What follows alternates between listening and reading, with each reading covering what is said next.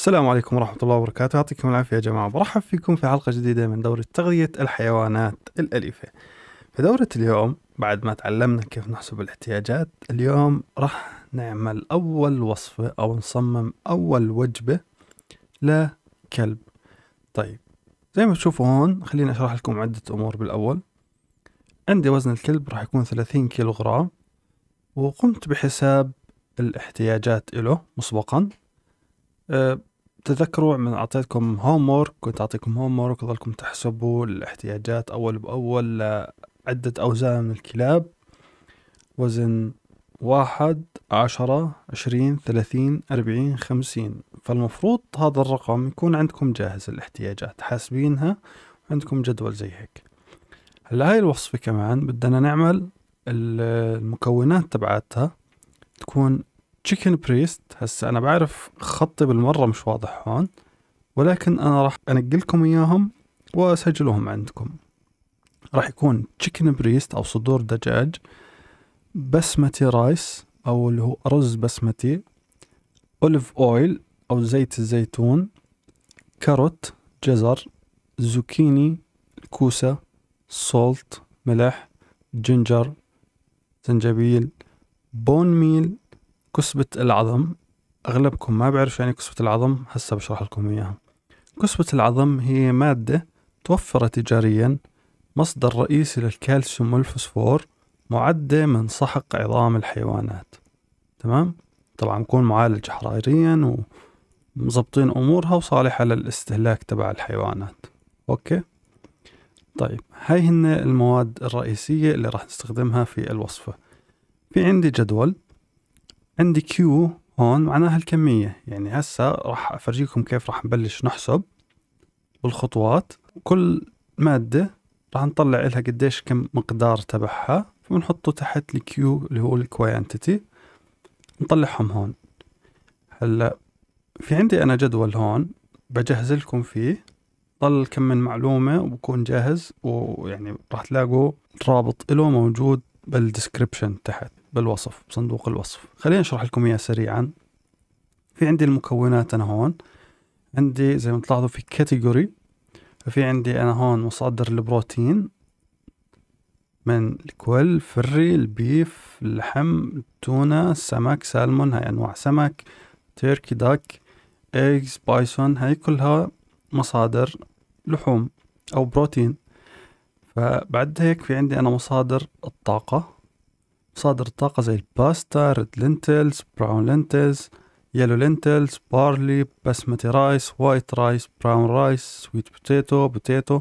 طبعا في غيرهم كثير ولكن هاي أمثلة وهي تقريبا الشغلات اللي متوفرة عندنا في الوطن العربي يعني ما راح أتوقع لو تبحث على الإنترنت على جوجل راح تلاقي كثير شغلات بس يعني هاي متوفرة تقريبا في كل منزل عربي على ما أعتقد حسب اعتقادي الشخصي يعني.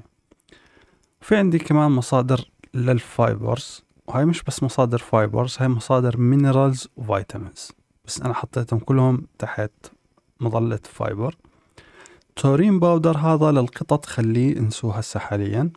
في عندي ال bone meal حكيت لكم عنه وال chicken bones ممكن إحنا نستخدم لما نشتري دجاجة نأخذ العظام تبعتها ونطحنها. برضو مصدر للكالسيوم والفوسفور. وعندي الزيوت مصادر للدهون اللي هم ال canola oil وال olive oil طبعا في coconut oil في كثير شغلات بس هذول اللي أكثر إشي ممكن تحتاجهم واللي دائما متوفر هو زيت الزيتون. اليوغرت هو مصدر كالسيوم ممتاز مصدر فوسفور ممتاز مصدر آه، بروتين ممتاز ولكن أنا حاط هون extra وحاطين زي ما أنتم شايفين هون chamomile drink. طيب اليوغرت ليش أنا حاطه extra؟ لما نصمم وجبة ما راح نحط فيها يوغرت لكن ممكن نحطه كسايد دش يعني هيك آه، دلال دلع تمام؟ وكثير ممتاز يعني وفيه فوائد صحية رائعة جدا. والكمومايل ممكن نعمل مشروب الكمومايل أعتقد بالعربي البابونج. ممكن نعمل آه، مشروب منه وتشربوا الكلاب. كثير رائع. طبعا في أنواع أخرى راح أضيف لكم إياها شو الشغلات أو الأعشاب اللي ممكن نعملها منها. مشروبات للكلاب والقطط. طيب هاي عندي المواد. الإشي الثاني عندي هسا هون قيم للبروتين طاقة دهون صوديوم بوتاسيوم كالسيوم فوسفورس fiber carbs. الأرقام هاي زي ما تلاحظ 0.31 إيش مع إيش المقصود فيها؟ المقصود فيها إنه كل غرام من صدور الدجاج فيه 0.31 أو فيه فاصلة ثلاث واحد غرام بروتين. يعني إذا بدك تحولها ل 100 غرام اضرب في 100 فبطلع معك 31 غرام بروتين في كل 100 غرام صدور الدجاج كذلك الأمر بالنسبة للطاقة الطاقة هي 1.65 كالوري في كل غرام. الدهون هو 0.036 غرام fat في كل غرام من صدور الدجاج. الصوديوم وحدته بالملي غرام هو والبوتاسيوم والكالسيوم والفوسفورس هذول كلهم وحدتهم ملي غرام يعني مثلا البوتاسيوم في اثنين ونص ملي غرام بوتاسيوم في كل غرام صدور دجاج. fiber وحدته بالغرام وال carbs بالغرام. تلاحظوا طبعا مصادر اللحوم كلها ما فيها لا carbs ولا fiber.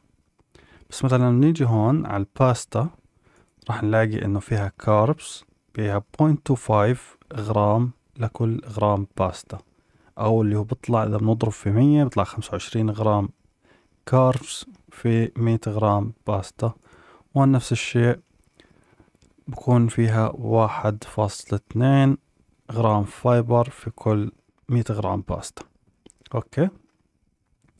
ليش أنا عاملهم بالطريقة هاي بالعادة؟ إذا بتبحث على الإنترنت راح تلاقي الاحتياجات. لكل 100 غرام. ولكن خليني أرجع الجدول ليش عملت اياها بالطريقة هاي. وهي اسهل طريقة صراحة يعني هو في طرق كثير. لكن لما نطلع إحنا كميات عشان بس مجرد نضرب الرقم اللي طلع معنا هون في أي رقم هون مباشرة عشان يعطيني قديش ال total تبعه. راح نفهم أكثر لما نعمل نبلش نحل الموضوع. بس هي هيك الفكرة. مثلا أنا chicken breast كان بدي عشرين غرام. مباشرة بضرب عشرين غرام بقيمة البروتين هون. بعطيني هذول عشرين غرام كم فيهم بروتين كم بعطوني بروتين. نفس الشيء بضربه في قيمة ال energy بعطيني ال total تبعهم. بعدين آخر إشي بس أطلعهم هذول كلهم. بجمع بطلع ال total هاي الوجبة اللي عندي كم حجمها بالكامل صار كم قيمة البروتين الكلية فيها كم قيمة ال energy الطاقة ال fat إلى آخره. بجمعها. وصير اقارن ببين معي إنه والله صح أنا عندي البروتين هيو ضمن ال range اللي مطلوب ما بين ستة وستة ل 12 بين ستة وستين ومية وعشرين إلى آخره. كون أموري تمام. طيب في ستبات راح آه نمشي فيها عشان نعرف يعني زي ما نحكي آه خوارزمية طريقة حل معينة. نمشي فيها عشان يطلع معي أنا خلطة متوازنة. أوكي. طيب خليني أول شغلة بدنا آه نوازن البروتين. فبنيجي بنحكي هون. عندي step أو لأ خليني أمسح كل إشي أول. ونكبر عشان يكون معنا مساحة للحل. نيجي بنحكي أول خطوة. واحد. step ون اللي هو نسميها uh, solve for protein اللي هي بالعربي وازن للبروتين. طيب القاعدة عندي بتحكي لي كالتالي إنه البروتين لازم يكون الحد الأدنى من البروتين اللي هو عندي ستة وستين لازم يكون جاي من مصدر لحوم. لأنه عندي المصادر الأخرى زي بسمتي رايس الزوكيني الكاروت فيها بروتينات. بس الحد الأدنى من البروتين ستة وستين لازم يكونوا كلهم جايين من إيش؟ من اللحوم. أي إشي زيادة يجي من الخضار ما في مشكلة خير وبركة. بس الحد الأدنى لازم من البروتين. فعشان هيك إحنا شو مصدر اللحوم عند عندي؟ اللي هو chicken breast ال chicken breast كم فيه بروتين نيجي على الجدول هون. فيه point three one فبقسم ستة وستين على point three one كم بطلع معي؟ بطلع معي ميتين وثلاثة غرام. بتقسمهم على الآلة الحاسبة بيطلعوا هم ميتين واثناش وفراطة بس منقرب دايما. انسى الكسور دايما نقرب. بيطلع عندي ميتين وثلاثة عشر غرام من الدجاج. فبجي هون هسا أنا الكوانتيتي طلعت عندي ميتين ثلاثة حلو؟ وهذول كمية البروتين فيهم ستة وستين غرام. okay؟ خليني أشرح بشكل سريع شو اللي صار. أنا كل غرام بروتين فيه هاي القيمة من البروتين. point three تمام؟ فأنا بدي أعرف طب كم غرام من صدور الدجاج فيها ستة وستين غرام؟ بقسم ستة وستين على point three one بعطيني إنه الميتين وثلاثة فيهم هذا الرقم. عشان نتأكد هاي ميتين ثلاثة ضرب point three one بعطيني ستة وستين. تمام يا جماعة؟ فهسا بعد ما عملنا هاي الخطوة لازم نكمل الجدول هذا. نيجي. كم في طاقة؟ 1.65 فبضرب 1 بس يفتح لنا هون. 1.65 ضرب. 213 بطلع 351 بطلع عندي 351 بالنسبة للدهون الدهون كم في دهون؟ point O three six طيب. هي point O three six ضرب ميتين تلتاش بيطلع سبعة فاصل ستة اللي هو ثمانية غرام. طيب بالنسبة لل carbs فهاي ال carbs عندي صفر. وبالمرة ما في fiber عندي بحطها صفر. باجي الكالسيوم هسا الكالسيوم ميتين وثلاثة point fifteen بطلع اثنين وثلاثين. هون اثنين وثلاثين. والفسفور ضرب ميتين وثلاثة طلع عندي أربعمية وستة وسبعين. أربعمية ستة وسبعين. طيب لغاية الآن إحنا وازننا البروتين. زي ما بتلاحظوا صح المصادر الأخرى فيها بروتين بس مدام أمنا البروتين كامل من مصدر لحوم هيك أمورنا ممتاز.